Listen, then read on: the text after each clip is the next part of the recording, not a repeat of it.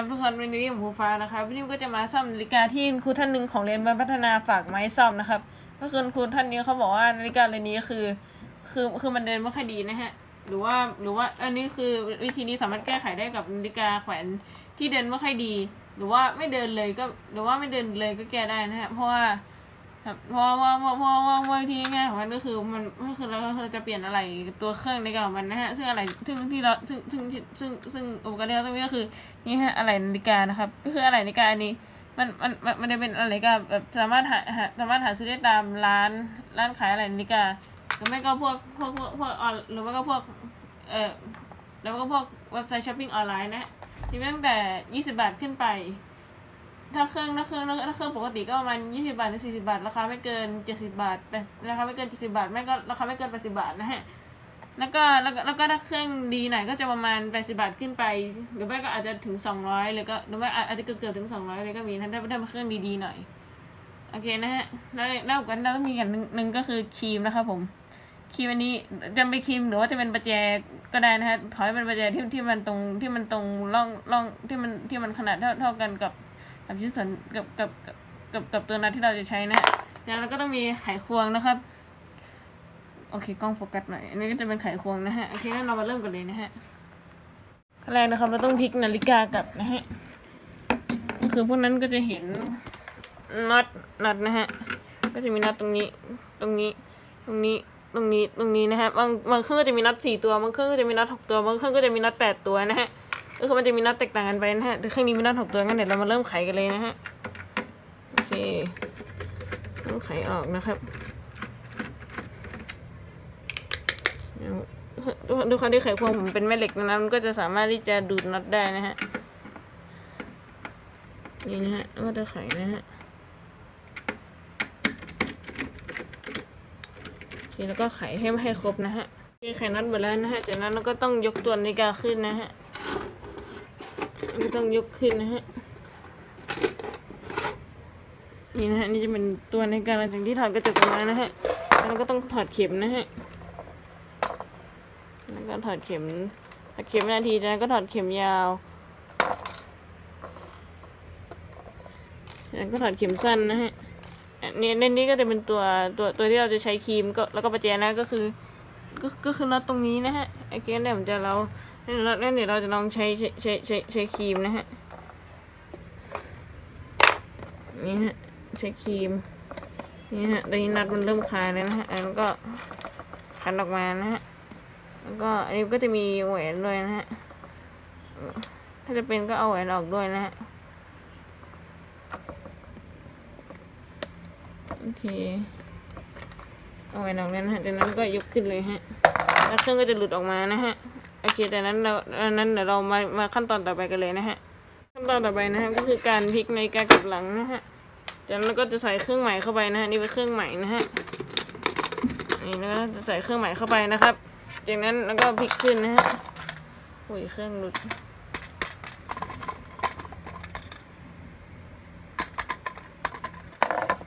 นี่นะทีนี้ก็ได้แล้วนะฮะเดี๋ยวเราก็จะลองแล้วเราก็จะลองใส่น็อตเข้าไปนะฮะ จะเป็นน็อต อันนี้ก็จะเป็นแหวนนะฮะ อันนี้ก็จะเป็นน็อตนะฮะ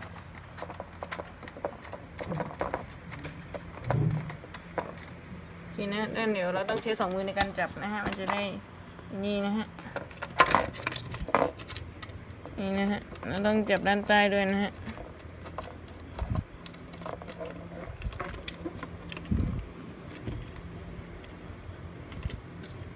ถ้าเราความสะดวกเราเราก็จะใช้ครีมได้นะฮะ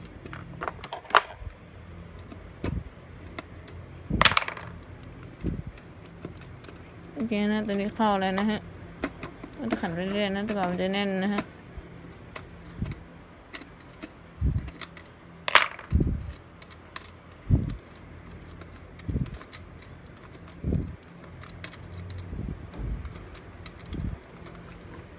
โอเคนะครับกี่พันวิวินิดหน่อยนะฮะก็คือเมื่อกี้คือคือเข็มคือคือคือมันยังไม่เข้านะฮะผมก็เลยลองลองลองพลิกแหวนอันนี้อีกด้านหนึ่งนะฮะแล้วก็ตอนนี้มันก็เข้าแล้วนะฮะก็ โอ้โหแต่ว่ามันว่าแต่ว่ามันน่าจะใส่ด้านด้านนี้ไม่ตรงกันเดียวอันนี้แล้วใส่ว่าอันนี้แล้วบางท่านถ้าใส่ด้านไม่ตรงกันบางทีก็อาจจะได้ว่านี่ก็อาจจะไม่ได้นะ แต่เมื่อกี้ไม่ได้นะฮะ แล้วก็ลองพลิกด้านดูนะฮะ จากนั้นไอ้นี้ก็จะได้แล้วนะฮะแล้วเราจากนั้นเราก็จะลองเทสเครื่องดูนะฮะถ้าอะไรผมขอไปหาทานก่อนนะฮะนั่นหายมาแล้วนะฮะจากนั้นเราก็จะลองใส่ดูนะฮะ แล้วก็เราเราเราก็จะลองดูตรงนี้นะฮะ ว่าฟืนมันขยับหรือเปล่าฮะ โอเคเฟืองมันขยับนะฮะแสดงว่าว่าว่า ก็คือเราต้องสังเกตดีๆนะฮะ ถ้าเฟืองในนี้คือมันขยับถ้าในการที่ที่ตรงนี้คือคือมันใสแล้วมันสามารถเห็นเฟืองได้เราก็จะรู้ว่าเฟืองหมุนหรือเปล่านะฮะ โอเค จากนั้นถ้าเฟืองหมุนนั้นเราก็จะมาเริ่มขั้นตอนต่อไปเลยนะฮะ ผมจะลองผัดถ่านดูนะฮะ ก็คือไอ้ตอนที่ใส่ถ่านตอนนี้ยังไม่ได้ใส่เข็มเลยไอ้นี่คือคุณจะทำก็ได้ คุณจะทำก่อนก่อนก่อนที่จะใส่เข็มก็ได้ หรือแม่จะทำตอนตอนตอนหลังจากใส่เข็มก็ได้ แต่ว่าแต่ว่าแต่ว่าผมทำก่อนนะฮะก็เช็คให้พวกเขาดูนะฮะ เดี๋ยวนะแล้วก็จะใส่เข็มสั้น ใส่เข็มยาวนะฮะแล้วก็เช็คก่อนว่าเข็มจะหลุดหรือเปล่าแล้วก็จะใส่เข็มวินาทีนะฮะ โอเคนะฮะต่อไปโอเคต่อไปเดี๋ยวเราจะมาขั้นตอนการที่เราจะเอาในการประกอบกันเข้าไปนะเหมือนเดิมนะฮะ โอเคนะฮะเดี๋ยวนั้นเราก็จะต้องหยิบกระจกนะฮะ นี่คือกระจกนะฮะ แล้วเราก็จะเอาไปประกบตรงนี้นะฮะ ประกบได้แล้วนะฮะ แล้วเราก็จะ อุ้ย แล้วเราก็จะ อะไรไหมเนี่ยแล้วก็จะปิดฝาโอเคอันนี้ยังไม่แน่นนะฮะ โอเคตอนนี้แน่นแล้วนะฮะ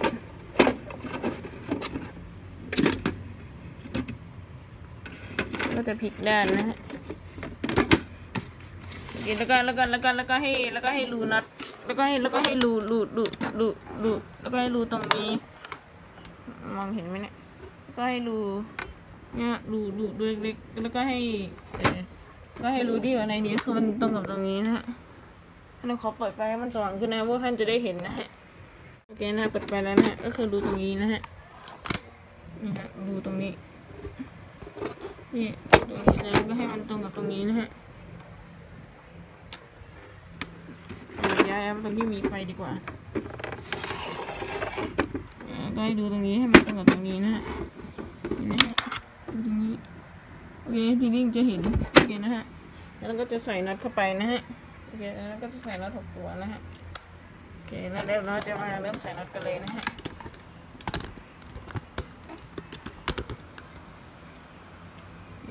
เวลาจะเริ่มเอาเอาเด็กเราก็ใส่เข้าไปนะ ใส่ครบหกตัวนะฮะใส่ครบตัวหกตัวนะครับ อันนี้ตัวที่สองแล้วอันนี้เราจะตัดไปที่เราใส่เสร็จกันเลย โอเคนะฮะ อันนี้ตัวสุดท้ายแล้วนะฮะเราก็ใส่เอาไว้นะฮะเดี๋ยวนั้นเราก็จะลองใส่ฐานดูนะฮะว่าว่าว่าว่าว่าในกาคือมันเดินหรือเปล่านะฮะเรียบร้อยนะครับในกาเดินแล้วนะฮะก็คือของผมผมก็ผมผมมันจะใช้เป็นแบบเป็นเครื่องเดินเรียบนะฮะเอ็นเอ็นเป็นเครื่องแบบเดินเรียบเดินแบบไม่มีเสียงนะฮะก็คือปกติแล้วนาฬิกานาฬิกาส่วนใหญ่มันจะเป็นเครื่องแบบเดินแบบกระตุกกระตุกกระตุกนะฮะแต่แบบ ทุกท่านอาจจะมองทุกท่านจะพอรู้นะฮะทุกท่านน่าจะพอรู้ดูดูการเรียบร้อยของผมนะฮะแต่ว่าเดเรียบมันจะเป็นแบบ อันนี้นะฮะอันนี้จะเป็นการเรียนแบบของผมนะฮะ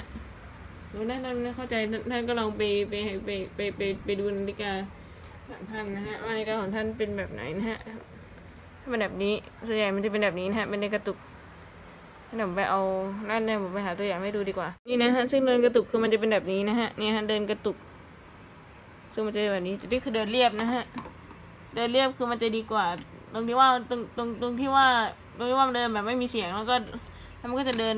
คือเดินแบบไม่มีเสียงก็คือถ้าเราถ้าเรามีนาฬิกาในห้อง ก็ผมเคยมีประสบการณ์ตรงที่ว่าผมเคยเอานาฬิกาที่เดินกระตุกอะเอาไปไว้ในห้องแล้วผมนอนไม่ได้เลยว่ามันเดินเสียงดังเพรานาฬิกาแบบนี้มันจะเดินไม่มีเสียงนะฮะดังนั้นถ้าเราแขวนถ้าถ้าเอานาฬิกาที่ใส่เครื่องนี้ไปไว้ในห้องนาฬิกาก็จะเดินไม่มีเสียงนะฮะแต่วันนี้เสียงดังมาก ผมก็เลยไม่ค่อยได้ใช้แบบนี้นะฮะ ผมใช้เครื่องแบบนี้ตลอดผมจะชอบซื้อเครื่องนี้ตลอดเครื่องแบบนี้คือมันดีกว่า แต่ว่ามันก็แพงกว่านิดหน่อยว่านิดหน่อยหรือเปล่าผมก็ไม่แน่ใจ แต่ว่าที่รู้คือมันแพงกว่าส่วนเครื่องอันนี้คือมันราคาถูกกว่านะฮะนี่มันแบบเดินกระตุกนะฮะโอเคนะฮะนี่ในการผมมันก็เสร็จแล้วนะฮะโอเคนะฮะสำหรับวันนี้ก็ขอตัวลาไปก่อนครับสวัสดีครับโอเคเครื่องเก่าอันนี้ผมก็เก็บไว้นะฮะ